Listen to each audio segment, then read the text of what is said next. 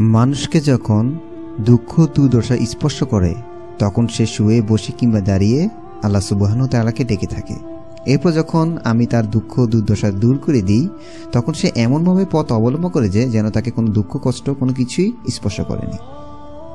এবং এর জন্য সে আল্লাহ তালাকে ডাকেও নি, এমনটা ভাব করে। সুরে ইউনুস বারানব আয়াত। তো এই আয়াতটি কেন আমি বললাম? এই আয়াতটি বলার কারণটা হচ্ছে, কিছুদিন আগে প্রচুর গরম ছিল, অসহনীয় তাপমাত্রা ছিল, যেটির কারণে আমরা অনেক কষ্ট পেয়েছি এবং আমরা ইস্তেকার সলাদ আদায় করেছি, যার পরিবর্তে আল্লাহ সুবাহ তাআলা আমাদেরকে এই বৃষ্টি দান করছেন। তো দেখেন, এর আগে যে আল্লাহ সুবাহনু তাআলা এত তাপ দিচ্ছেন, এর কারণটা কি ছিল? সব কিছু হচ্ছে আমাদের কৃতকর্মের ফল। সুরা রুমে চলছেন মায়াত আল্লাহ তালা সুবাহ বলছেন যে জলস্থলে যত বিপদ আপদগুলো রয়েছে। সব হচ্ছে আমাদের হাতের কামাই। এরপর হচ্ছে যখন আপনি জাকাত দায় করবেন না, যখন সমাজে পাপ কাজ বেড়ে যাবে, তখন কিন্তু আল্লাহ সুবাহতাল্লাহ আজাব দেন। তিরমিজতে আছে যে, তখন এই গরম হাওয়া এবং শিলাবৃষ্টি আরও বিভিন্ন ধরনের আজাব দেন। যখন আল্লাহ সুবাহন তাআলা প্রাকৃতিকভাবে, দুর্যোগভাবে আজাব দেন, তখন আমাদের উচিত আমরা বেশি বেশি তাবা ইস্তেকফার পাঠ করব। কারণ তাপ আসে জাহানাম থেকে জাহানামের নিঃশ্বাস থেকে। আল্লাহ সুবাহন তাআলা এগুলোর মাধ্যমে আমাদেরকে বুঝতে চাচ্ছেন যে জাহান্নামের আজাব আরও বড় কঠিন, অনেক কঠিন।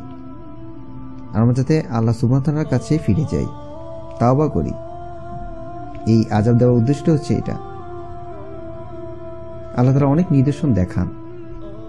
এই দেখানোর মাধ্যমে আমরা যদি বলি যে গরম আসছে, আমরা এসি ছেড়ে শান্তিতে থাকব কিংবা প্রকৃতিকে আমরা গালাগালি করব, আমরা বিভিন্ন ধরনের গান গাইব কিংবা অন্য অন্য যে সকল নাস্তিকরা বা অমুসলিমরা কৃষ্টি কালচারগুলো পালন করে থাকে, ওই সকল কাজগুলো করব, এটার উদ্দেশ্যে কিন্তু আল্লাহ সুবাহতাল্লাহ আমাদেরকে এই আজাব গজব দেন না।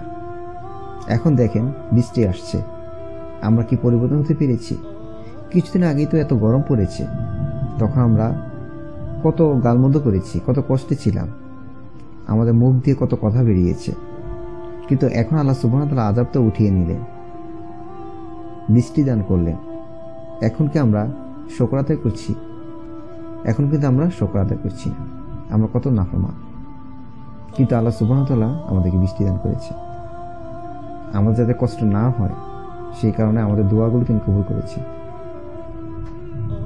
তাই শকর আদায় করতে হবে এবং আল্লাহ সুবাহতাল্লাহ যে গজব আজাবগুলো দেন, সেগুলো থেকে আমরা নিষ্কৃতি চাওয়ার জন্য আল্লাহর কাছে দোয়া করব এবং এর থেকে শিক্ষা গ্রহণ করব এবং বেশি বেশি তাওবা ইস্তেফা পাঠ করব। আল্লাহ তাআলা আমাদেরকে বুঝে মানা তাফিক দান করুক। আমিন।